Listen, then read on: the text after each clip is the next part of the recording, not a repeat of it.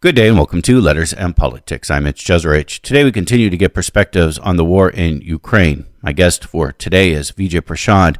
Vijay Prashad is the director of the Tricontinental Institute for Social Research. It describes itself as an international movement driven institution focused on stimulating intellectual debate that serves people's aspirations. He is the author of such books as The Darker Nations, A People's History of the Third World, and The Poorer Nations, A Possible History of the Global South. He has a couple of pieces out about the war. One you can find in his newsletter that you can read at the tricontinental.org. He also has an op ed out for South African newspaper Mail and Guardian called Ukraine a conflict soaked in contradictions. Vijay Prashad, it's a great pleasure, sir, to welcome you back to this radio program. Thanks a lot, Mitch. Great to be with you. How do you view this war in Ukraine? What lens are you seeing it through? It's complicated because all wars are ugly and have a criminal aspect to them.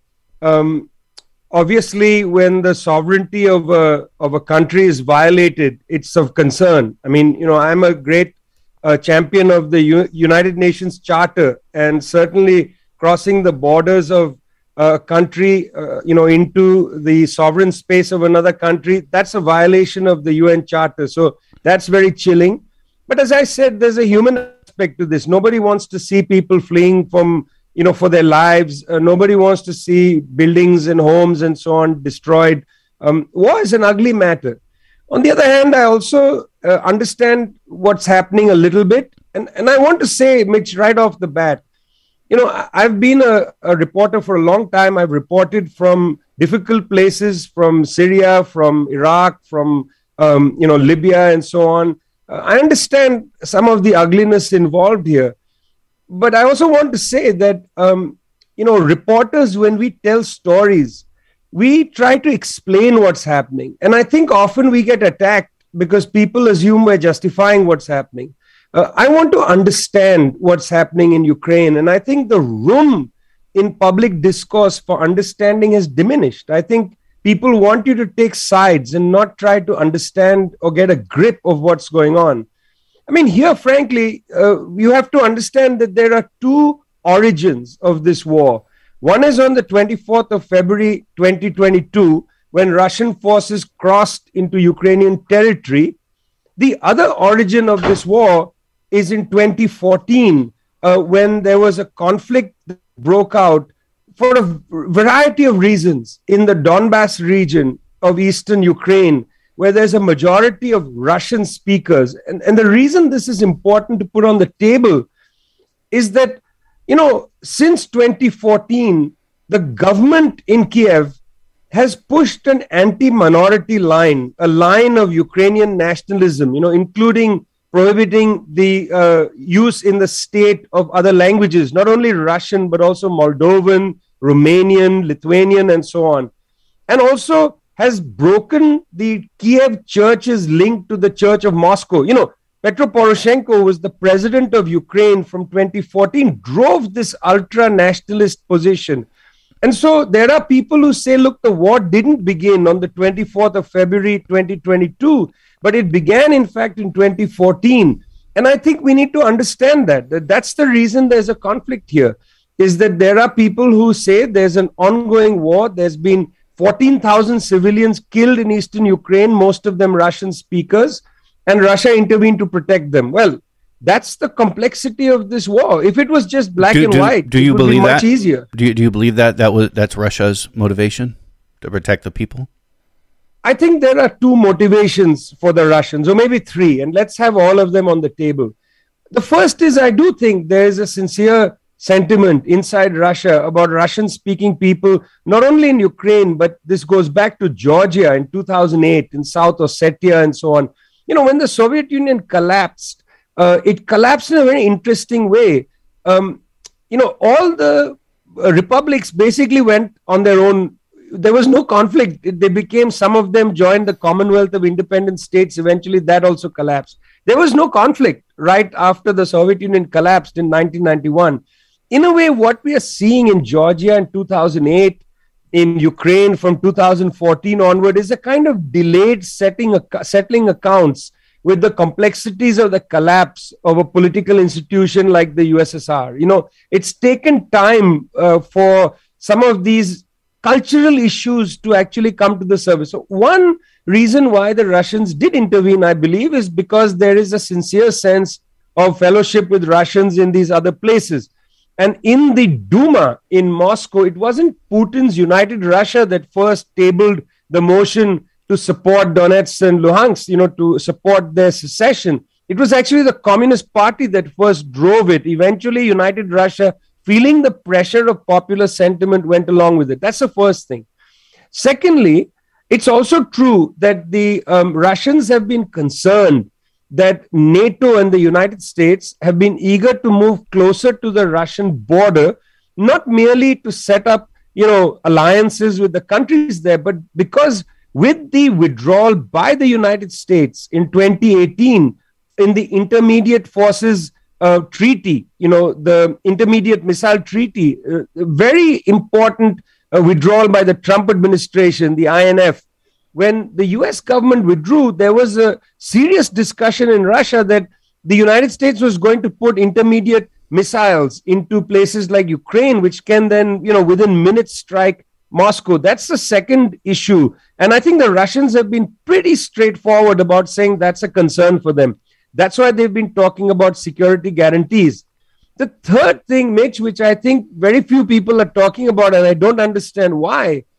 You know, when um, the conflict broke out in 2014 in Ukraine, when there was, look, let's call it, it was a coup, uh, helped along by Victoria Nuland of the of the administration and United States government. She was there in the Maidan. Her cell phone records were leaked. I mean, it showed the level of U.S. involvement in getting rid of the government of Yanukovych, bringing in uh, first Yats. She kept saying in her phone call, Yats, we want Yats. They got Yats and then Petro Poroshenko. So, um, when the Maidan took place and the government of uh, of Yanukovych was overthrown, at that time the Russians entered and brought Crimea, seized Crimea. Now, the reason the Russians seized Crimea is in Sevastopol, they have one of their two main warm water ports. The other warm water port is in Latakia, in Tartus, in Syria. The reason why Russia intervenes militarily to seize Crimea in 2014. And by the way, in Crimea, there was a referendum, even if a referendum has cheating of some level, something like 80 to 90% of the population voted to join Russia. I think that's pretty credible that the majority wanted to join Russia. It's a largely Russian speaking area. In 2014, they seized Crimea. In 2015, they entered Syria, both to defend Russia's only two warm water ports. Russia has no other warm water ports for its navy. This is very significant, and I'm surprised this is not right on the surface of conversation. Well, since Russia took Crimea, it has only been linked to Crimea by a bridge uh, across the Black Sea. And in the last couple of years, the Russian government has been complaining, saying Ukraine has cut off water supplies to Crimea. So Crimea has faced a severe drought, and Russia has had to bring water across in tankers along that bridge. If you look at the fighting, it's very clear that the Russians are trying to create a land bridge that goes from the two eastern uh, provinces of Donetsk and Luhansk all the way into Crimea. And that's the third reason I believe they intervened. One, they intervened uh, because of the uh, the kind of real, you know, ultra nationalist Nazi type attacks, Nazi attacks on the people, Russian speakers of Eastern Ukraine. Secondly, uh, because they do fear the intermediate missiles being placed in places like Ukraine. And third, they want a land bridge to Crimea. That I think is is their basic war aims and that's what they're going not going to settle for anything less it seems. For you does that justify the invasion? Nothing justifies an invasion because the the you know the suffering is going to be uh, unimaginable. Also it's going to polarize ukraine. You know ukraine ultra nationalists are going to increase their sense of, of of what you know ukraine means to them and so on the situation in ukraine will be polarized i think that's that's a very bad outcome I feel like Mr. Putin made a rash decision here. You know, what could have happened? And look, I'm not the head of a big government and so on. You know, who am I? Just a minor intellectual, you know, talking to you on the radio. I'm not the head of a government. They have other concerns and worries and so on. I, I, I understand that. On the other hand, it is interesting that in the last couple of years, the Russian government has not been able to gain traction either in the UN system, the United Nations system, or in the world media about the atrocities being committed against Russian speakers in eastern Ukraine. You know, it's interesting. Uh, if anything like this happened to a US ally, if you know minorities were being discriminated and so on, the United States would have really, you know, played the record over and over again, gone to the UN, sought a Security Council resolution, and so on. I'm surprised that the Russian government didn't seek a Security Council resolution. What the Russians could have done is they could have made a dossier of atrocities. You know, the UN accepts that 14,000 civilians were killed in eastern Ukraine since between 2014 and 2020. That's a lot of civilians, Mitch. 50,000 people injured. That's a lot of people. There have been um, busloads of refugees going to Rostov, that's in Russia, crossing the border. Also, Ukrainian speakers going to Kiev, you know, leaving. There's ethnic cleansing happening at a mass scale for the size of Ukraine. I'm afraid that could have been made into a major issue. You know, when uh, Mr. Uh, Zelensky, the, the president of Ukraine, announced recently saying, Oh, look, you know, I'm a um, I'm Jewish, of Jewish origin, and I'm against the fascists. At that moment, it would have been interesting if Mr. Putin got on a plane, arrived in Kiev, and said, let's organize a joint anti fascist conference. Called the bluff of the Ukrainian government, which has been operating alongside some of these fascistic groups for the last decade or so. You know, it would have been interesting if he had done that. What I'm trying to say is there were a lot of political maneuvers that needed to be exhausted. I'm one of those people, and I might be naive and idealistic, but I'm one of those people who believes that war is the very, very, very last resort. Everything must be exhausted before you go there. And I, as a you know ordinary intellectual, have given you at least two things that could have been done. Um, you know, and these, by the way, these would have actually assisted the Russian government because it would have prepared international opinion. Uh, it would have prepared people to understand what's happening in eastern Ukraine. But you know, uh, between the silence of the Western media, which really didn't report this much, even though it was UN reports that were coming out about this violence, Western media didn't report this much. Between that and between the Russians unable to use international institutions effectively I think you know those are two options that could have been tried out. Yeah. Do you see Russia as an imperial power? You see, I think Russia is being a defensive power rather than imperial. I already told you, in my opinion, the intervention into Syria and into Crimea, at least, but now Ukraine uh, in general, those two interventions are about protecting the Russian Navy. Um, look, on military grounds, the Russians are unwilling to directly confront the United States. Mr. Putin made a very interesting gamble here. He entered Ukraine knowing full well, I think, that nobody else wanted to enter this conflict. You know, I, I, saw the clip of Hillary Clinton in very bad taste saying that they're going to convert Ukraine into something like Afghanistan. I thought that's in bad taste. You know, firstly, uh, look at just what happened in Afghanistan. You know, you had to withdraw from there. The Taliban is back in power. Now you presume to arm these Nazi groups in Ukraine. You'll strengthen the Nazi groups all across Eastern Europe. That's hardly got to be comforting to people who'll have to live with the detritus of that. You know, it's easy enough for Hillary Clinton living in the outskirts of New York City to talk like that. But imagine what this would mean in Croatia, in Poland, and places where Nazis would now feel completely emboldened and so on. Very disturbing attitude, frankly. Um, so, I mean, I feel like that was a gamble that Mr. Putin took, but it's a gamble again that's against the lives of people in Ukraine, and it's it's an unfortunate, un- very unfortunate gamble against those lives. I mean, I, I'm not sure. You know, I think that currently, um, if these war aims are secured, if the Russians are able to get their land bridge, if they have an agreement, they are negotiating at the Belarus Ukraine border, if, if an agreement is reached, Mr. Trump apparently is going there. The head Ukrainian negotiator announced it on Fox News that Trump is coming with a delegation of Republicans and so on. If some deal is able to be cut, um, you know, it's still not going to bring things to a good place because ultra nationalism has increased in Ukraine and in Russia, great Russian chauvinism has increased. You know, this is something that Lenin had warned about in the 1920s, you know, warned about Russian chauvinism. And that's the reason the USSR was created, you know, as a way to deal with minority nationalities, give them uh, some dignity in, in their own republics and so on, so that great Russian chauvinism doesn't come and, and demolish things. These are old habits, Mitch. The same thing is there in China. There is the great Han chauvinism, which Mao warned about, you know, in the 1950s and China has to deal with this. In India, we are dealing with the great Hindu chauvinism. I mean, these old countries are dealing with old chauvinisms. And th- this is an old cultural fight that we will have to fight. That's the reason why I find a lot of the commentary on this conflict very limited because it's looking at this conflict in a from a liberal lens, you know, democracy versus non-democracy or whatever. Doesn't understand Asia and these parts of the world where there are old ethnic um, you know loyalties and ideas and so on these have to be unraveled. They cannot be you know just like treated as as non-existent. Uh, take a look at the united states. We're still dealing with the old you know issues of jim crow. You know it's not gone away. Uh, republicans don't want to talk about slavery. They are worried about you know what is it? They want to ban ethnic studies and ban critical race theory. I mean these are old cultural problems. The taproot has not been pulled out.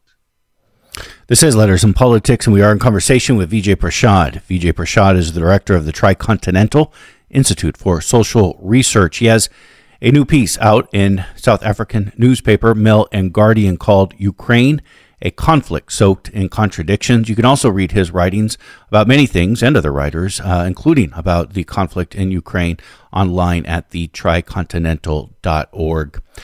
Vijay Prashad, we've had a number of people on over the days talking about the, the war in Ukraine, and we've attempted to bring on differing views about the war on Ukraine. And I want to follow up on what you said concerning the coup, what you called the coup of 2014, and also the idea of, of Nazis and, and fascists in Ukraine.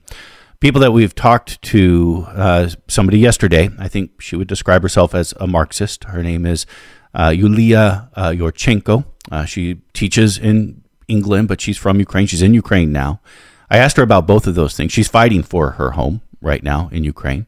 I asked her about both of those things. And on the idea of 2014, which some call the Euromaidan, protest, um, which you called a coup, she said that it's over. It's it's it, it it it's an oversimplification to call it a coup. That there are hundreds of thousands of people that took to the streets in 2014. Uh, she may not have said this, but others have said Parliament was on the verge of uh, of of impeaching uh, the president.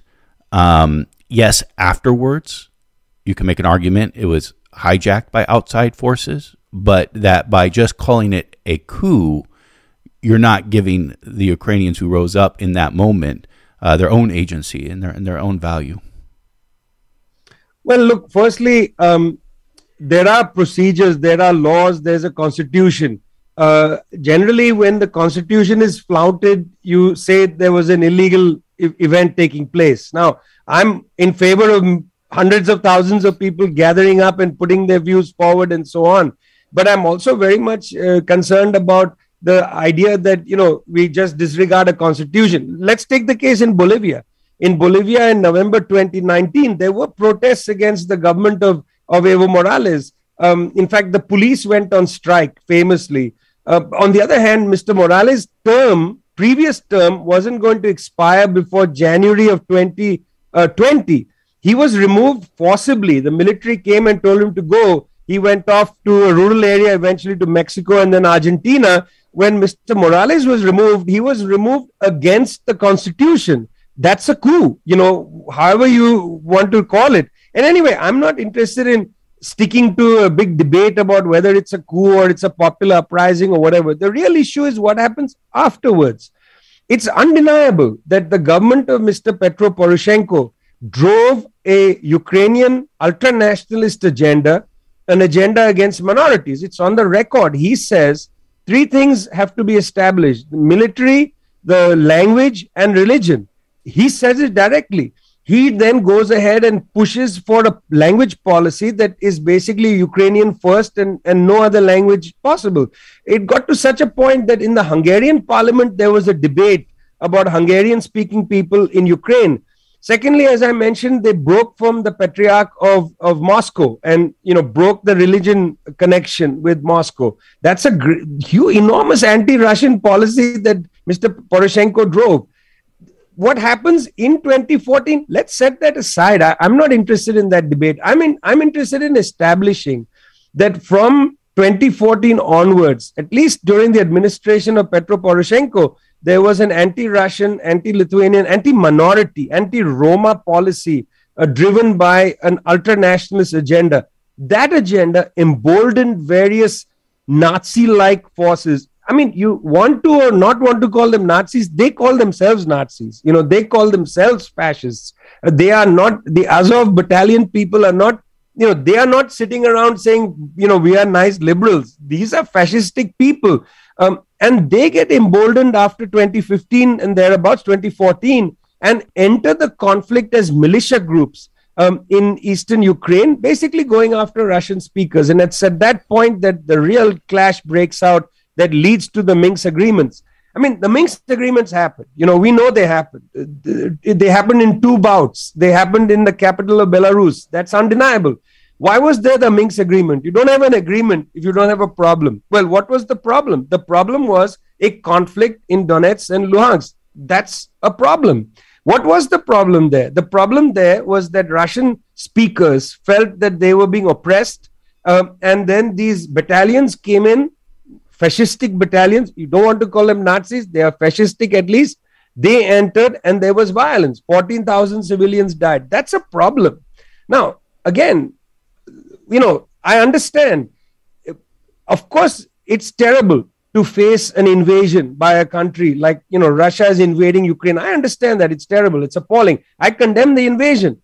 But I, I don't want to at the same time rewrite history and pretend that you know everything was great until the 24th of February when the Russians intervened, Mitch. I mean, an act of rewriting history is uncalled for. 14,000 civilians died there. You know, let's not forget them. It's the same uh, way in which people talk about, say, the war in Syria. You know, uh, whatever your position on the war in Syria, it is undeniable that the government of Syria in 2011 cracked down viciously against protesters, killed children in the streets of Daraa. That actually happened. You know, I was in Beirut, I covered some of that stuff. That happened. Now, the fact is that then the West comes in and starts funding and supporting Al Qaeda groups, literally Al Qaeda groups, Jabhat al Nusra and so on, that become ISIS. The West, the Turks, the Gulf Arabs support them. And then the battle is be- between Al Qaeda and the Syrian government. Well, that's a different question that doesn't mean that the original violence didn't take place in Daraa, you know, in, in 2011. It's the same here. You know, there was an original violence. It took place in Donetsk and Luhansk. You can't deny that. Whether it's a coup or it's some sort of extra parliamentary measure that took place in 24, it brought to bear a government that allowed this stuff to happen. And that's where we are now. It didn't start because Putin woke up one day and said, I want to seize Ukraine. I mean, I'm no fan of Mr. Putin. On the other hand, I don't think we should fantasize about what's going on. Do you see parallels between Syria and, and Ukraine? And, and I mean geopolitically, but I also mean, I guess, the discourse that we have on the left about these two wars. Of course, there are parallels. And the funny thing is, the same people are on different sides of, of these wars. Yeah, you know, that's what I was thinking. Yeah, no, it's exactly. Let's take the case of Libya for a second because it's interesting. In Libya, in the eastern part, striking it's the east, that's why I want to take the Libya example. Mahmoud Jibril, who used to be the chief financial advisor of the uh, wife of the, the, then Emir of Qatar, um, who was working with Gaddafi's government, arrived in Benghazi and declared that the east was under an Im- immense attack from the west. Genocide was you know on the horizon. He used his contacts in the gulf arab states to basically drum up the idea that they were all going to be slaughtered.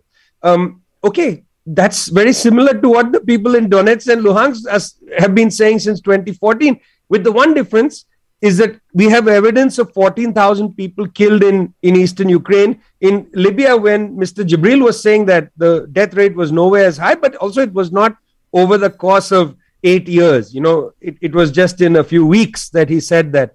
In a few weeks, the assumption that there might be genocidal killing was utilized by the United States and France to push through a UN Security Council resolution, first 2011, then, uh, no, sorry, first 1970, resolution 1970, and then resolution 1973. And then they started bombing eastern, uh, western Libya, Tripoli, and, and the side. Now, they violated the UN resolution immediately. UN resolution said create a no fly zone, protect eastern Libya. No, they started operating as the air force of the rebels in the east.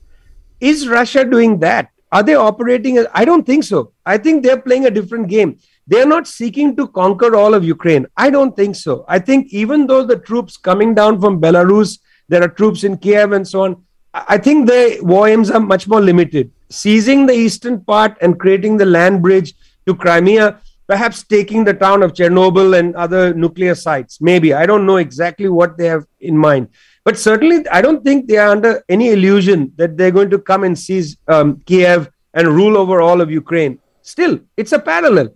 The, the same people now, the kind of you know left liberals and so on, who in the Libyan conflict were cheering on NATO, cheering it on as it destroyed Libya, are in this case saying, "Oh my God, it's a terrible war. We stand with the Ukrainians. We're going to fly yellow and blue flags on on the the on Facebook and so on. I challenge people: what was the color of the Libyan flag? In fact, let me ask people this, your listeners, uh, Mitch, because they've been flying yellow and blue flags on their social media. What's the color of the flag of the Democratic Republic of the Congo, where millions of people have died since the first Great Lakes War began in 1995-96? What's the what is the flag of the Democratic Republic of the Congo look like?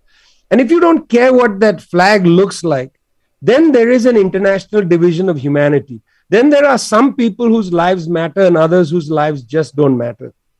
This is the main point of the article that you wrote in the Mail and Guardian, the South African newspaper, called Ukraine a conflict soaked in contradictions. You write this quote, No one, which is to say the political forces in the North Atlantic states, care about the suffering of children in Africa and Asia. They are, however, gripped by the war in Ukraine, which should grip them, which distresses all of us, but which should not be allowed to be seen as worse than any other conflicts taking place across the globe.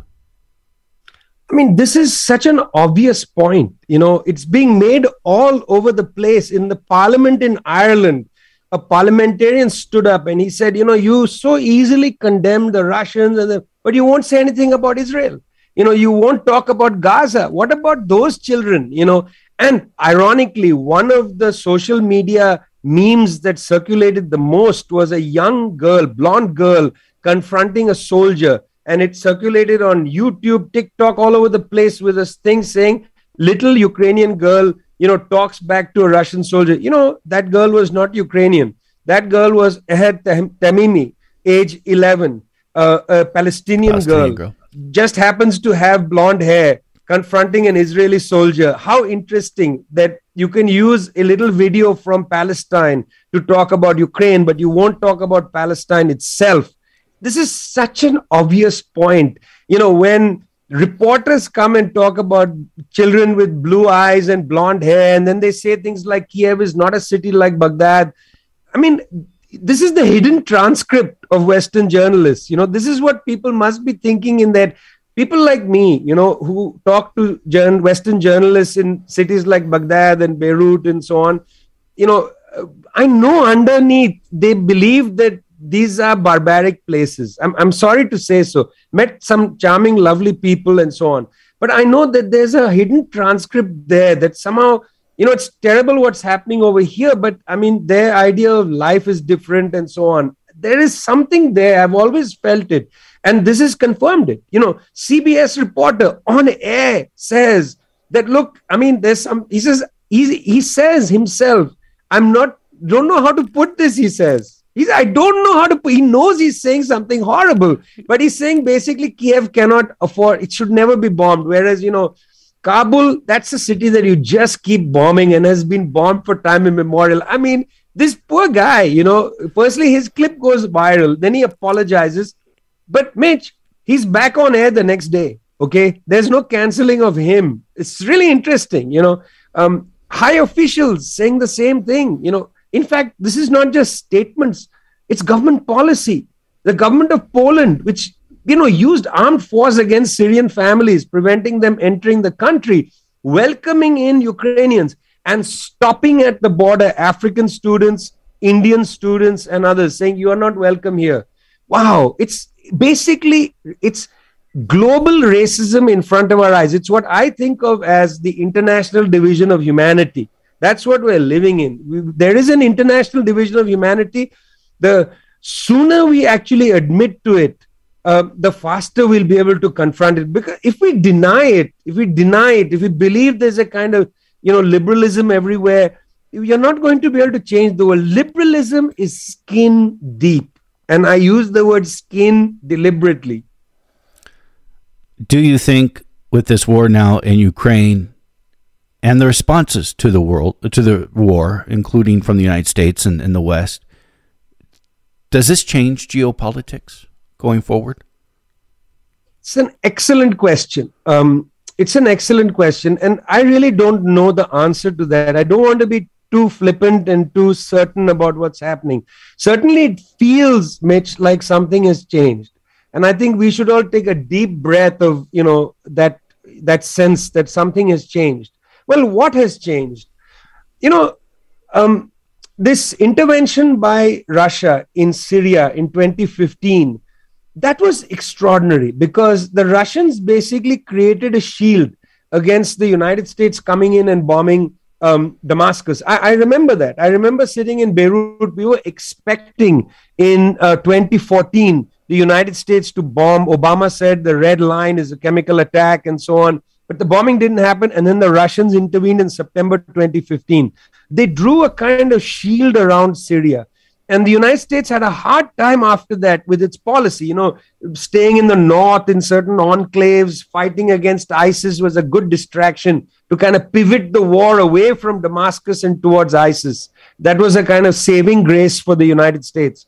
But the Russian intervention in 2015 in Syria and the seizure of Crimea in 2014 demonstrated to Russia and to people around the world the limits of US and NATO power it couldn't directly confront um, the Russians. In fact, what message is this sending to China regarding Taiwan, for instance? You know, what if tomorrow um, 25 Chinese bombers fly over Taiwan, land in Taipei airport, special forces seize the president, and they take the island? What happens then? Um, you know, what will the United States do? Will the United States go nuclear? I, I'm not sure. I think the Chinese are watching this. You know, um, uh, uh, uh, Putin actually tested this. He said he called his defense chiefs in and he said, put the nuclear weapons on a high trigger. You know, we're going on to a nuclear alert. Well, that's a big message to the West. You know, you dare to uh, even use intermediate missile, we're going to come and fight back. And, you know, you can destroy us, but we'll really hurt you. Well, that's a real difference. You know, I mean, I thought after the Soviet Union collapsed in 1991, after China began to accommodate itself more and more to the West, you know, with Shenzhen and Workshop of the World and so on, didn't think there would ever be the possibility of any country confronting Western power in this way. And now we see Russia doing it. And I'm telling you something interesting. That's the reason why, in many parts of the South, in particular, in Africa, Asia, Latin America, people are actually cheering on the Russians, not willing to understand the subtleties of what's happening here and all that. Reminds me a lot, Mitch, of the coverage in India, in Africa, in parts of the Middle East from 1904, 1905. Uh, you know, when the Japanese defeated the Tsarist army in Port Arthur in that war of 1904, 1905 in places like India, people cheered them on, saying, finally, an Asian power has defeated a European power. They saw Tsarist Russia as a European power. You know, everybody cheered the Japanese on in 1905 in all these, you know, countries that had been colonized. Now I see very similar things happening regarding Russia. People are saying, oh, good, give the West a little slap because they are so arrogant. They're not looking at the actual issue of Ukraine. And, you know, I don't mean people are being callous, but they are seeing it from that perspective. So we should not ignore that. You know, in India, for instance, not far from my childhood apartment, there's a statue of Lenin. Well, a friend of mine sent me a photograph that a group called the Hindu Sena, these are right wing uh, Hindu organization, far right wing group, put up posters on the Lenin statue's base, which said the following Three cheers basically to Mr. Putin for trying to revive the Soviet Union. I mean, I thought, what is this? What is this? It's it's crazy times. Vijay Prashad has been our guest. Vijay Prashad, again, is the director of the Tricontinental Institute for Social Research. He has a couple of pieces out that you could read about his views on the war in Ukraine, including at the South African newspaper called Mail and Guardian. He has an article called Ukraine, a conflict soaked in contradictions. You can also read his newsletter, where he has another piece online at the tricontinental.org. Vijay Prashad, I thank you greatly for taking this time to join us today. Thanks a lot, Mitch.